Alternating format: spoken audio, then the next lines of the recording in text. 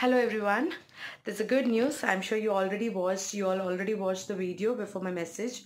So the dog that was rescued yesterday from my locality by Girish sir's team, she opened her eyes and she also had her food. Her treatment is going on.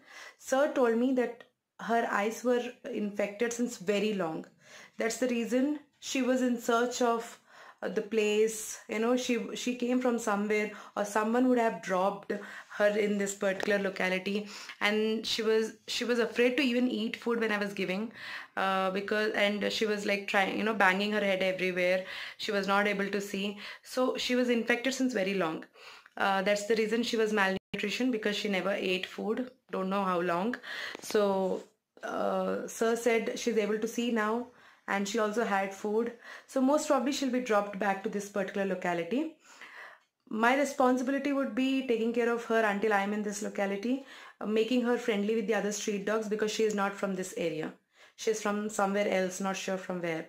Uh, I have to make sure that the street dogs in my locality doesn't harm or hurt her uh, about the food i anyways feed my dogs here. So until i'm here for next two three months until i go back to Vizag I can feed her and I can make her independent. But only challenge is I should get her operated very soon because she's not operated and she's female. So um, this is the update and I'll keep you all posted about the uh, you know update on the blind dog. She's no more a blind dog anymore. Thank you so much for guys uh, for supporting me so much